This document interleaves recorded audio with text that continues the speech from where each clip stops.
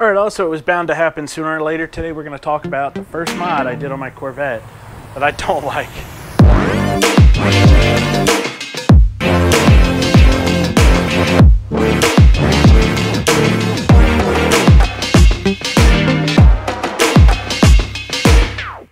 Everybody, so if you aren't already a subscriber, hit that subscribe button to find out more about what it's like to daily drive a C5 Corvette.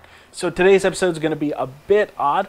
I'm actually going to be using footage that I did about a month ago when I installed the lettering kit from Corvette Mods. So the actual brand of the lettering kit was from Eurosport Daytona, as you can see in the footage of me putting it onto the fuel rail covers. So all things considered, I was actually really happy with the quality of the product. I thought it was pretty good. However, I did feel it was a little pricey. It cost me about $65 uh, all out the door. That's with shipping and everything, uh, which I did think was a little high for a lettering kit. However, there's a few things right away that I didn't notice, and I'm going to just throw in the clips from when I said it then. All right, so I'm going to stop right here and I'm going to quickly mention this. Uh, if you're doing this and you don't have a second set, I'm actually glad I started with the passenger side because I have a second passenger side at home that if worse comes to worse, I can throw it on the Corvette. You're not going to want to use this alcohol prep pad. So I'm just going to show you right there.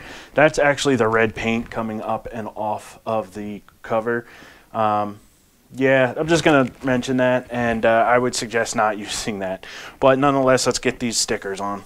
All right, so with it all set up, there's a couple things I don't like. Um, one, the lettering isn't cut perfect up top, which is to be expected. I mean, they're not going to go flush, but um, there's quite a bit of red left within the gap, and I don't think I could have centered them any better. Um, they definitely won't fill the lettering in. Maybe if I centered them a little bit more, you'd get an even red all the way around, and that it would just be what you would deal with. But initial reaction is, eh, I don't know.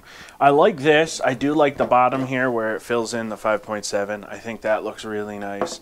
Um, the lettering, though, for the Corvette is just mediocre at best. The final thing I do want to say, though, is there is two things I really liked about it. Overall, first of all, the color is a little bit darker against the Electron Blue. This is probably closer to a navy.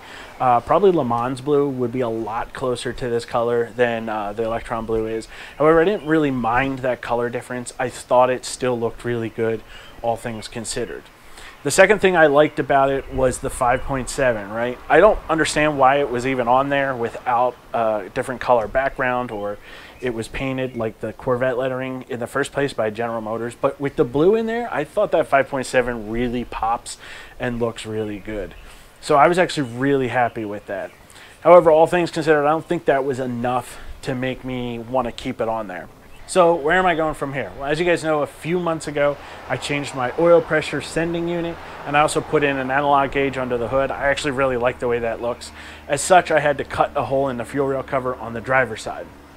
I wasn't really happy with the way that fuel rail cover came out, so I ended up buying a second set of fuel rail covers used, uh, in great shape actually, and uh, recut that hole for the driver's side. Luckily, that means I now have an extra passenger side, so I'm just going to pop the passenger side off with the blue lettering and pop the replacement on. So with all things considered, what do you guys think? Is this a mod you've done? Is this something you like on your car? Again, not every mod is for everybody, so, and just in my case, it just wasn't a winner today. But I knew it was going to happen eventually, and I got to be happy that I only spent 65 bucks on it. So I will see you guys on the next episode, and before you leave, remember to hit that like and subscribe button.